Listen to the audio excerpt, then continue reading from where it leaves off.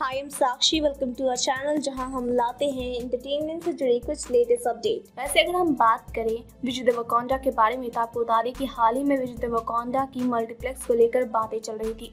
जी हाँ आपको बता दें कि यहाँ पर विजय देवरकोंडा की मल्टीप्लेक्स को लेकर ये बातें चल रही थी कि लव स्टोरी फ़िल्म पहली बार विजय देवरकोंडा के एवीटी मल्टीप्लेक्स पर देखने को मिलेगी। वहीं आपको बता दें कि हाल ही में विजय देवरकोंडा ने अपने इस मल्टीप्लेक्स का इनाग्रेशन किया। साथ ही साथ उन्होंने अपने मदर के साथ एक फ़ोटो पोस्ट की और कहा हैप्पी बर्थडे मोमोलू।